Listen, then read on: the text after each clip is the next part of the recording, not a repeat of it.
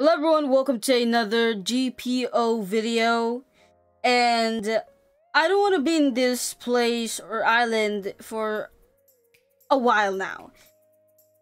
Because it's a little bit boring now. I'm level 14. There isn't that much things to do. So let's go ahead and talk about what you can find in this island. Because why not? So let's start off with, of course, um, things you can get. You can get yourself shovel right over there, which only cost 50 belly. Like, I'd not recommend you to get that. I thought it was a weapon, so I bought it, and it was not a weapon. It was just a shovel, and shovel it was. Next one is gonna be things right here. You're gonna see a, a hammer. This one is, I'm gonna go ahead and buy it.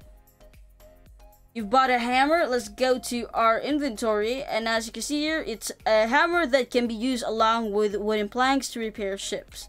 So literally, if you get yourself a ship, I'm gonna get the cheapest ship, not the 2000 one. Go ahead and click that. Let's buy a rowboat, for example. And I think you spawn it, uh, spawn it, spawn, spawn. And let's equip another ship. I just bought myself, okay, oh yeah. There's the boat. Equip it. As you can see, 100, 0 out of 100. I'm gonna go ahead and ship can't spawn, try to spawn up somewhere else. Can't be spawned here. Why can't, there. As you can see here, this is our ship. And pretty much, this is what it looks like. I particularly um, do not like the ship at all because it's slow. But we have nothing else to do. Now, if somebody use a cannonball, because there's a health on this, 100 out of 100, as you can see. Now, if somebody shoots it, you can actually repair it. And the way that you can repair this is go to your inventory, use your hammer, click on the hammer, you equip it, you get yourself some planks. This is wooden planks. You get 15 wooden planks for 50 Peli. You get that, you get a if if you have broken you can just do this or you have to interact in some ways to repair your boat. And as you can see when you're holding the uh, the hammer there's gonna be a GUI showing that you have 15 times wooden plank. So that's that right there. I'm gonna go ahead and unequip this now let's go to the other stuff. You're gonna see um this here. This is the shotgun cannonball. This is used if you have a boat that has a cannonball inside or if you have any cannon uh like the gun, the cannon gun, then this one is for you. Now it costs 500 and I only have 844 and there are things that I really truly want to buy. Next one is a normal cannonball, and this one's a lot more cheaper than the red one. If I do remember correctly, when I watched One Piece, there was a red cannonball that comes from Buggy's cannon. If I remember that correctly, but that one had Buggy's face. Now this one here is 175. You can see the difference between them. This is 500 and that's 175. The next and last item that's uh, that Mark sells is this snail here. Now what is what this is is it's a Denden Mushi. Let's go ahead and buy it so that I can explain what it does. And pretty much it's a device that allows you or is a device used to call people across the sea. You can literally equip it and then use it. So you have to put a player's name. For example, if I just click these and I want to send message to um, let's see. Anyone's fine. I don't want the most complicated name ever. Like, come on. Is any one of you have no complicated name? Okay, let Retro Kill 20. There's one. Retro Kill 20. Oh, player does not have Denden equipped. So you, it, both players have to have Denden equipped and then they can talk each other using the voice chat, which is a beta feature. So that's one good thing, I'd say so. And if you are playing with a friend that is far away and this is the only communication methods that you can do, then yeah, sure, why not? And do that. And if you're the type of person that probably are talking to strangers, then this is one of the things that is used to communicate with them without giving other more information such as a Discord or uh, other communication apps or software. So this one here is just through the game, so you don't need to give so much info about that. Also, you need to be 13 plus to be able to use the communication thing here. And I guess, uh, since it's a snail phone, the only way you can communicate is through calling each other. Or sending, like, message, I guess, if that's what the feature is. I can't test it out right now, unfortunately. I will be able to test it later on when I do have the time. So that is Den Mushi. Let's go ahead and roam around the island so that you can get to know a little bit more about it. Because I kind of know a little bit more about it. So if you do, now let's go with the next one, which is going to be shop. So there's um there's one more shop in this place that sells something. And that is this shop right over here. You're gonna see this shop. This shop has a staircase and you're gonna find Lily downstairs. Now, Lily is gun shop owner by Purple Lover. And the moment you get down here, you're gonna hear a different sound or music in your ears. Now, if you talk to Lily, he's gonna say, I'm the gun seller at this town. If you're interested in my gun, please buy. Or something like that. I can't really read fast. Uh, you're gonna see the two guns right over here. It's number one, it's a pistol. 175 and the other one is a rifle which costs 300 Peli. Now I want both of them because I am a collector and I will literally collect any weapons that are in the game. Would you like to purchase rifle for 300 Peli? Of course I would want to. Now we have bought two items, a pistol and a rifle.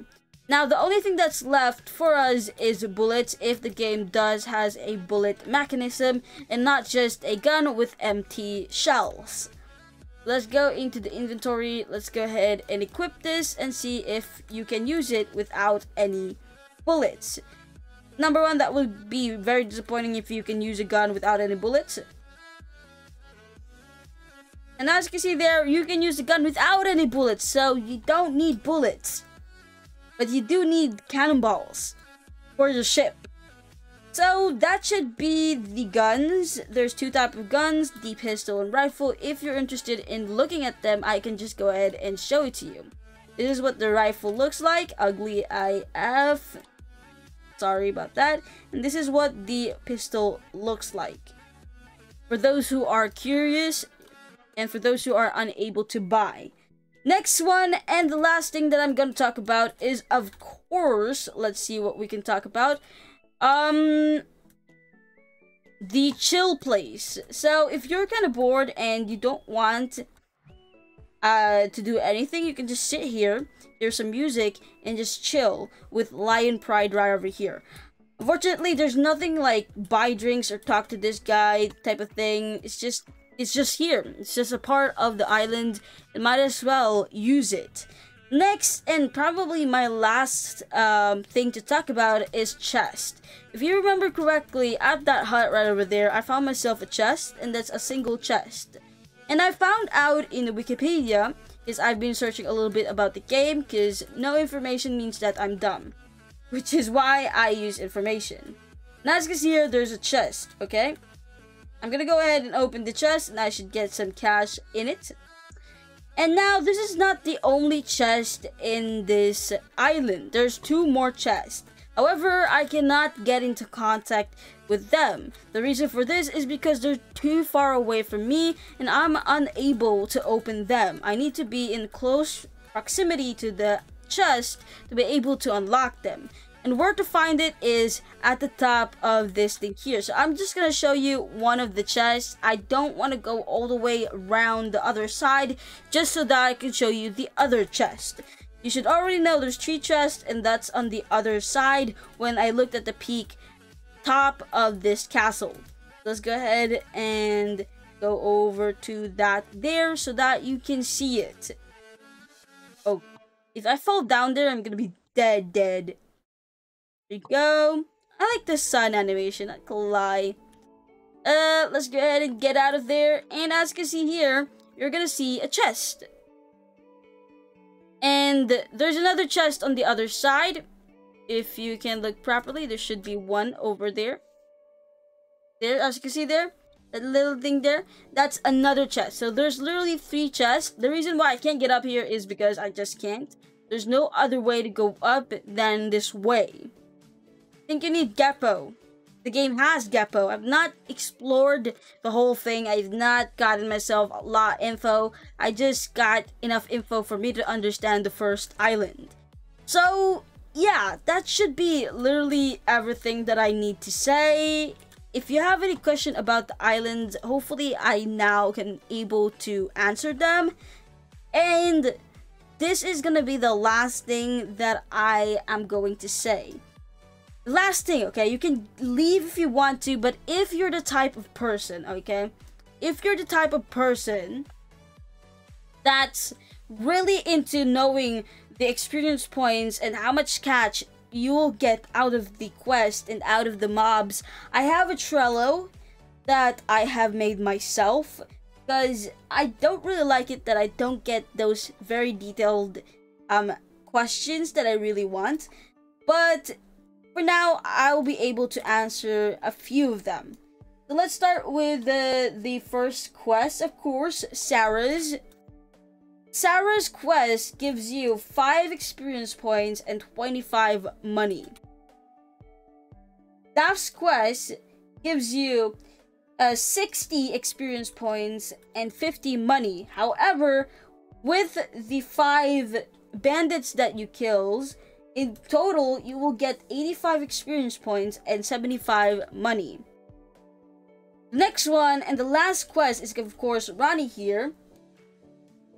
With him, with his quest, you should get 80 experience points and then 75 money. However, with both, uh, with killing the boss, you should get in total 100 experience points and 100 money. So that very, very little detail there that I tell you, that is just literally for type of person like me who wants to get something such as detailed as that, getting to know the experience points of your quest and money, that is very important for me. So guys, um, thanks for watching and bye.